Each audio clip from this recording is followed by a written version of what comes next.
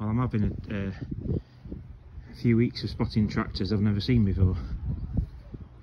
And this one's a Kub Kubota.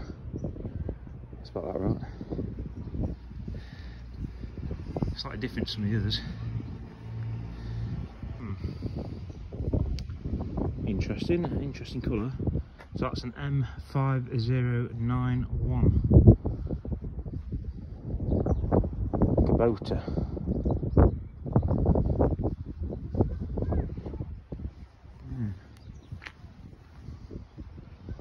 Say, it's just a tractor spot, guys. To add to the list and to the playlist of tractors.